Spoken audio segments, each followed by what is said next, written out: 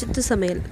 இன்றைக்கி நம்ம சித்து சமையலில் என்ன சமைக்க போகிறோம்னு பார்த்தீங்கன்னா ஒரு பிரேக்ஃபாஸ்ட் ரெசிபி தான் நம்ம பண்ண போகிறோம் இன்றைக்கி வந்து நம்ம காய்கறியும் முட்டையும் சேர்த்து எப்படி பிரெட் சாண்ட்விச் பண்ணலான்னு சொல்லி நான் உங்களுக்கு காட்ட போகிறேன் இன்றைக்கி வந்து கொஞ்சம் வித்தியாசமாக நான் வந்து கேஸ் ஹேண்ட் டோஸ்ட் வச்சு நான் பண்ணி காட்டுறேன். சப்போஸ் உங்கள்கிட்ட சாண்ட்விச் மேக்கரே இருந்தாலும் அதுலேயும் நீங்கள் பண்ணலாம். அப்படி எதுவுமே இல்லைன்னு சொன்னிங்கன்னா நீங்கள் தவாவில் கூட நீங்கள் வச்சு பண்ணிக்கலாம். இல்லை தோசைக்கல்லில் கூட நீங்கள் வச்சு பண்ணிக்கலாம். அது வந்து எல்லாமே நல்லா தான் இருக்கும் நான் வந்து கொஞ்சம் வித்தியாசமாக இந்த மாதிரி கேஸில் வைக்கிற ஹேண்ட் டோஸ்ட்டை வச்சு நான் உங்களுக்கு பண்ணி காட்டுறேன். எப்படின்னு சொல்லிட்டு இது பார்க்கலாம். மோஸ்ட்டாக நம்ம எப்போவுமே சவுத் இந்தியன்ஸ்னால் முக்கியமாக பிரேக்ஃபாஸ்ட்னாலே நம்மளுக்கு ஞாபகத்துக்கு வருது இட்லி பூரி பொங்கல் இல்லை தோசை இது மாதிரி தான் ஞாபகத்துக்கு வரும். அப்பப்போ இந்த மாதிரி கொஞ்சம் வித்தியாசமாக நம்ம பண்ணி நம்ம குழந்தைகளுக்குலாம் கொடுத்தோன்னா அவங்களுக்கு அவங்களுக்கும் வந்து கொஞ்சம் சந்தோஷமாக சாப்பிடுவாங்க. நம்மளுக்கும் கூட மூஞ்சில் அடித்த மாதிரி இல்லாமல் கொஞ்சம் நல்லா இருக்கும் டிஃப்ரெண்ட்டாக இருக்கும். ஸோ நம்ம ட்ரை பண்ணி பாருங்கள் கண்டிப்பாக ரொம்ப ஈஸியாக செய்யலாம். ப்ளஸ் இதில் வெஜிடபிள்ஸ் வந்து நம்ம காலையிலேயே நம்ம வெஜிடபிள்ஸ்லாம் எடுத்துக்கிறதுனால இன்னும் ரொம்ப நல்லாயிருக்கும் நம்மளுக்கு. இப்போ நம்ம சாண்ட்விச் பண்ணுறதுக்கு முதல்ல உள்ளே வைக்கிற ஸ்டஃபிங் ரெடி பண்ணிடலாம். அதுக்கு வந்து நான் ஒரு பேனில் ரெண்டு டேபிள் ஸ்பூன் அளவுக்கு எண்ணெய் ஊற்றிருக்கேன் எண்ணெய் சூடானதுக்கப்புறமா கடுகு சேர்த்துக்கோங்க. கடுகு வந்து நான் ஒரு அரை டீஸ்பூன் அளவுக்கு சேர்த்துருக்கேன். கடுகு கூடயே வந்து கொஞ்சோண்டு சீரகமும் சேர்த்துக்கோங்க. நான் சீரகம் வந்து ஒரு கால் டீஸ்பூன் அளவுக்கு சேர்த்துருக்கேன். நல்லா வெடிஞ்சிருச்சு. இப்போ வந்து நம்ம ஒரு பாதி இஞ்சி அதாவது ஒரு ஒரு ஒரு இன்ச் அளவுக்கு இஞ்சி எடுத்து குட்டி குட்டியாக ரொம்ப சின்ன சின்னதாக நறுக்கியிருக்கேன். அதையும் ஆட் பண்ணிக்கிட்டேன். இஞ்சியோட பச்சை வாசனை போயிட்டதுக்கப்புறமா நம்ம வெங்காயம்லாம் சேர்த்துடலாம்.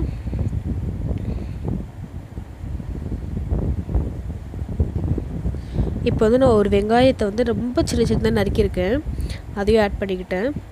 எதுக்காக நான் ரொம்ப சின்ன சின்னதாக நறுக்க நறுக்க சொல்கிறேன்னா நம்ம வந்து சாப்பிடும்போது முக்கியமாக குழந்தைங்களுக்கு பெரியவங்க நம்ம ஈஸியாக சாப்பிட்றோம். குட்டி பசங்களை சாட்டிஸ்ஃபை பண்ணுறது ரொம்ப கஷ்டம். ஸோ அவங்க வந்து சாப்பிடும்போது அந்த வெங்காயம் ரொம்ப சின்ன சின்னதாக இருந்தால் கண்ணுக்கு தெரியாமல் அவங்க சாப்பிடுவாங்க இதே கொஞ்சம் பெருசு பெருசாக இருந்தால் அவங்க வந்து எடுத்து தனியாக வச்சுட்டு எல்லாம் பிடிக்கலன்னு சொல்லி அப்படியே வச்சுட்டு போயிடுவாங்க. ஸோ ரொம்ப சின்ன சின்னதாக நறுக்கிட்டிங்கன்னா ரொம்ப நல்லாயிருக்கும் அதுக்கு தான் கூடவே ஒரு பச்சை மிளகாவும் நம்ம ஆட் பண்ணிக்கலாம். நான் பச்சை மிளகா வந்து கொஞ்சம் மீடியம் சைஸில் கட் பண்ணியிருக்கேன். ஏன்னா நான் வந்து குழந்தைக்கு கொடுக்குறதுனால அந்த பச்சை மிளகா கொஞ்சம் பெருசாக இருந்ததுன்னா அது கொஞ்சம் ஈஸியாக எடுத்து வைக்கிறதுக்கு கொஞ்சம் ஈஸியாக இருக்கும். அதுக்காக தான் நான் வந்து கொஞ்சம் பெருசாக நறுக்கியிருக்கேன். நீங்கள் வந்து குட்டியாகவே நறுக்கிக்கோங்க. நல்லாயிருக்கும் கூடவே கொஞ்சம் கருவேப்பிலையும் போட்டுக்கோங்க.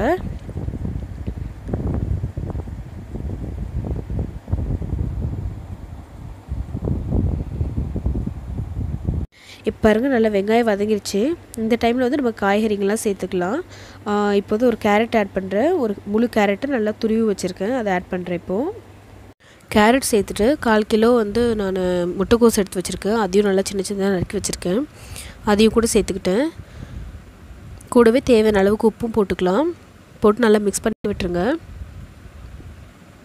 நீங்கள் கேரட் கேபேஜ் நல்லா உங்களுக்கு எந்தெந்த காய் பிடிக்குமோ அந்தந்த காய் நீங்கள் ஆட் பண்ணிக்கலாம். ஃபார் எக்ஸாம்பிள் நீங்கள் உருளைக்கிழங்கு இல்லை பட்டாணி பீன்ஸு பீட்ரூட் இப்படி கூட எந்த காய் உங்களுக்கு பிடிக்குமோ அந்த காய் நீங்கள் ஆட் பண்ணிக்கலாம் நல்லாயிருக்கும். இப்போ எல்லா காயும் நல்லா வேகட்டும் அது வரைக்கும் கொஞ்சம் வெயிட் பண்ணுவோம். பாருங்கள் இப்போ நல்லா எல்லா காயும் வெந்துருச்சு. இப்போ வந்து எல்லாத்தையும் கொஞ்சம் ஓரமாக தள்ளிட்டு நடுவில் கொஞ்சம் கேப் போட்டுடலாம். இப்போ ஒரு முட்டையை உடச்சி ஊற்றி இந்த கேப்பை ஃபில் பண்ணிடலாம் இப்போது உங்களுக்கு முட்டை பிடிக்காது நீங்கள் முட்டை சாப்பிடாத ஆளாக இருந்தால் நீங்கள் முட்டை ஆட் பண்ணிக்க வேண்டாம். வெறும் வெஜிடபிள் மட்டுமே வச்சு செய்யுங்க நல்லாயிருக்கும். இப்போ அந்த முட்டையை வந்து நல்லா அந்த காய்கறியோடு நல்லா சேர்கிற மாதிரி நல்லா மிக்ஸ் பண்ணி விட்டுலாம் சப்போஸ் கீழே வந்து அந்த முட்டை உடஞ்ச ஐ மீன் எப்படி சொல்கிறது ஒட்டின மாதிரி ஏதாவது இருந்ததுன்னா அடிபிடிச்ச மாதிரி இருந்துச்சுன்னா எல்லாத்தையுமே சுரண்டி விட்டு எடுத்து விட்டுருங்க அதெல்லாம். இப்போ பாருங்கள் நல்லா எல்லா முட்டையும் அந்த காய்கறியும் நல்லா மிக்ஸ் ஆயிடுச்சு இந்த டைம் மசாலாஸ் ஆட் பண்ணிடலாம். நான் வந்து அரை டேபிள் ஸ்பூன் அளவுக்கு மிளகாய் தூள் எடுத்திருக்கேன் தனி மிளகாய் தூள் இது. கூடவே ஒரு கால் டீஸ்பூன் அளவுக்கு நான் கரம் மசாலா ஆட் பண்ணுறேன் கூடவே பெப்பர் பவுடரும் ஆட் பண்ணிக்கோங்க. நான் வந்து ஒரு அரை ஸ்பூன் அளவுக்கு பெப்பர் பவுடர் போட்டிருக்கேன். உங்களுக்கு காரம் கம்மியாக தான் பிடிக்கும் அப்படின்னா நீங்கள் வந்து ஒரு கால் டீஸ்பூன் அளவுக்கு மட்டும் சேர்த்துக்கோங்க. பெப்பர் பவுடர் நல்லாயிருக்கும் இது ஒரு அடிஷ்னல் டேஸ்ட்க்காக தான் பெப்பர் சேர்க்குறது நான். இப்போல்லாம் நல்லா மிக்ஸ் பண்ணுறி மிக்ஸ் பண்ணி நல்லா வேக விட்டுருங்க. இது ஸ்டேஜில் வந்து நீங்கள் கொஞ்சோண்டு கொத்தமல்லி இலையோ இல்லை ஸ்ப்ரிங் ஆனியனோ போட்டு நீங்கள் ஸ்டவ் ஆஃப் பண்ணிக்கோங்க. ரெடி ஆயிடுச்சு இப்போது இப்போ நம்ம சாண்ட்விச் பண்ண ஸ்டார்ட் பண்ணிடலாம்.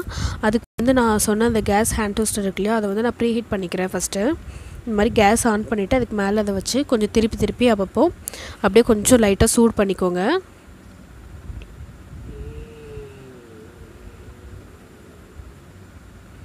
இந்த மாதிரி நல்லா சூடு பண்ணிக்கோங்க ஃபஸ்ட்டு ஓகேவா ஃபஸ்ட்டு நான் வந்து ரெண்டு ப்ரெட் ஸ்லைஸ் எடுத்து அதில் வந்து இந்த மாதிரி வெண்ணெய் தடவி வச்சுக்கிறேன். ஒரு சைடு மட்டும் தான் தடவிக்கிறேன். ரெண்டு சைடும் தடவலை ஒரு சைடு மட்டும்தான் தடவிருக்கேன் நீங்கள் வந்து இன்னொரு மெத்தடும் இருக்குது நார்மலாக பண்ணுற மெத்தட் என்னென்னா அந்த டோஸ்டர்லேயே வந்து வெண்ணெய் தடவிட்டு அதுக்கப்புறம் ப்ரெட் வைப்பாங்க. நான் வந்து கொஞ்சம் வித்தியாசமாக கையில் படாமல் இருக்கும் அப்படின்னு சொல்லி கொஞ்சம் சேஃப்டி மெத்தடுங்கிற மாதிரி நான் பண்ணி காட்டிருக்கேன் உங்களுக்கு. இப்போ அந்த பட்டர் வந்து திருப்பி இருக்க மாதிரி நீங்கள் இந்த மாதிரி ப்ளேஸ் பண்ணிடுங்க பண்ணிவிட்டு உள்ளே வந்து ஸ்டஃபிங் வைக்க ஆரம்பிச்சிடலாம். நம்ம செஞ்சு வச்சுருக்க அந்த மசாலா எடுத்து உள்ளே வச்சிடலாம். நீங்கள் இதில் க்ரீன் சட்னியோ இல்லை கெட்சப்போ இருந்தால் கூட நீங்கள் அந்த ப்ரெட்டில் இன்னொரு சைடில் நீங்கள் தடவிட்டு கூட வைக்கலாம். நல்லாயிருக்கும் அப்புறம் இன்னொரு ப்ரெட் எடுத்து அதை மூடிடுங்க மூடிட்டு இப்போ நம்மளுக்கு கொடுத்துருக்க அந்த ஹேண்ட் டோஸ்டரோட ஹேண்டில் எடுத்து மூடிடுங்க இந்த பாருங்கள் இப்படி லாக் பண்ணிடுங்க லாக் பண்ணிவிட்டு கீழே வந்து ஒரு கொண்டி மாதிரி ஒன்று கொடுத்துருப்பாங்க. அதாவது லாக் மாதிரி. அதை வந்து எடுத்து இது மாதிரி மூடிடுங்க உங்களுக்கு தெரியுதா தாழ்பால் மாதிரி இருக்கும் அதை பார்க்க குட்டியாட்டு. அதை எடுத்து இப்படி லாக் பண்ணி விட்டுருங்க. இப்போ பாருங்கள் உள்ளே நம்ம ப்ரெட்டு வந்து இவ்வளோ அழகாக ப்ளேஸ் ஆகிடுச்சு பாருங்கள் இதை வந்து டைரெக்டாகவே நீங்கள் கேஸ் மேலே வைக்கலாம். நீங்கள் வைக்கும்போது ஆனால் ரெண்டு கேர்ஃபுல்லான விஷயம் நீங்கள் நோட் பண்ணிக்கணும். ஒன்று வந்து தீ வந்து மீடியமோ இல்லை சிம்மாவே வச்சுக்கோங்க. அண்ட் இது வந்து ரொம்ப நேரம் இப்படி வச்சுட்டே இருக்கக்கூடாது. ஒரு ஃபைவ் செகண்ட்ஸ்க்கு ஒன்ஸ் வந்து நீங்கள் திருப்பி திருப்பி விட்டுக்கணும். பாருங்கள் இப்படி நம்ம திருப்பி திருப்பி வச்சுட்டு இருக்கும்போது இது கரெக்டாக வந்து வேக ஆரம்பிச்சிடும் நீங்கள் சப்போஸ் அப்படியே வச்சுட்டே இருந்தீங்கன்னா கரைஞ்சிரும் சீக்கிரமாக இந்த மாதிரி ஃபைவ் செகண்ட்ஸ் ஒன்ஸ் வந்து நீங்கள் இப்படி திருப்பி திருப்பி அதை வச்சு காமிச்சிக்கோங்க ஃப்ளேமில் அண்ட் நீங்கள் அந்த லாக் வந்து ஓப்பன் பண்ணி கூட பார்த்துக்கலாம். அடிக்கடி ஓப்பன் பண்ணி பார்க்கணும் கண்டிப்பாக ஏன்னா நீங்கள் அப்படியே வச்சுருந்தீங்கன்னா உங்களுக்கு தெரியாது அது வந்து கரிஞ்சிருச்சா இல்லைன்னா நல்லா இருக்கான்னு சொல்லி கூட உங்களுக்கு தெரியாது. இப்போ பாருங்கள் இந்த மாதிரி கோல்டன் ப்ரௌனாக வர வரைக்கும் அப்படி திருப்பிட்டு இப்போ எடுத்துடலாம். நீங்கள் எடுக்கும்போது கேர்ஃபுல்லாக எடுங்க. கொஞ்சம் நல்லா லார்ஜ் ஸ்பூனாக வச்சு எடுங்க. சின்ன ஸ்பூன்லாம் வச்சு எடுக்காதீங்க. இந்த மாதிரி இன்னொன்று நான் இப்போ வச்சுருக்கேன். இப்போ நான் ஃபஸ்ட்டு பண்ணதை காட்டுறேன். இங்கே பாருங்கள் எவ்வளோ அழகாக கோல்டன் ப்ரௌனாக வந்திருக்குது. எதுவும் கருகில் ஒன்றும் ஆகலை சூப்பராக இருக்குது இந்த மாதிரி நீங்கள் ட்ரை பண்ணி பாருங்கள் கண்டிப்பாக உங்களுக்கு பிடிக்கும். என்ன ஃப்ரெண்ட்ஸ் உங்களுக்கு இந்த ப்ரெட் சாண்ட்விச் ரொம்ப பிடிச்சிருந்ததா? இது ரொம்ப ஈஸியும் கூட அண்ட் டேஸ்டியும் கூட ரொம்ப ஹெல்த்தியும் கூட. இதை வந்து நீங்கள் டொமேட்டோ கெச்சப்போடு நீங்கள் சர்வ் பண்ணிக்கலாம். ஸோ கண்டிப்பாக ட்ரை பண்ணி பார்த்துட்டு எப்படி இருந்துச்சுன்னு எங்கிட்ட ஷேர் பண்ணுங்கள் இப்போ இன்றைக்கான டிப்ஸ் என்னென்னு பார்க்கலாம். ஒரு சில டைமில் நம்மளுக்கு வந்து கேஸ்ட்ரிக் ப்ராப்ளம்னால நெஞ்சு வலிக்கிற மாதிரி இருக்கும் தெரியுமா? அந்த மாதிரி டைமில் நம்ம வந்து ஒரு பூண்டும் கொஞ்சோண்டு ரெண்டு கல் உப்பும் எடுத்து நம்ம சாப்பிட்டோன்னா அந்த கேஸ்ட்ரிக் ப்ராப்ளம்லாம் சரியாக போயிடும் நெஞ்சு வலியும் போயிடும் இந்த வீடியோ கண்டிப்பாக உங்களுக்கு பிடிச்சிருக்குன்னு நினைக்கிறேன். பிடிச்சிருந்தா மறக்காமல் எங்கள் சேனலை சப்ஸ்கிரைப் பண்ணுங்கள் மீண்டும் வேறு ஒரு சூப்பரான ஒரு ரெசிபியோடு உங்களை சந்திக்கிறேன். அது வரைக்கும் தட்டா பாய்